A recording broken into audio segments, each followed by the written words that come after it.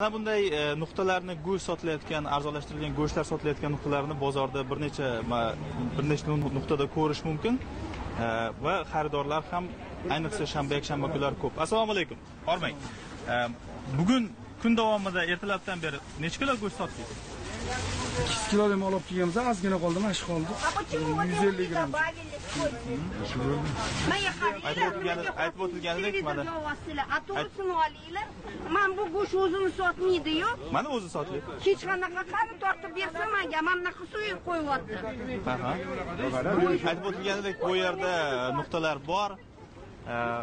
Va bir narsani alohida ta'kidlab o'tish kerak, daladan dasturxonga degan tamoyil asosida bu yerga tuxum mahsulotlari, kartoshka va poliz mahsulotlari ham yetkazib berilmoqda. Mana ko'rishingiz mumkin. Э, tuxumlar Tuxumlar 900 so'mdan sotilyapti va э, ushbu nuqta aynan shu daladan dasturxonga tamoyil asosida e, keltirilgan.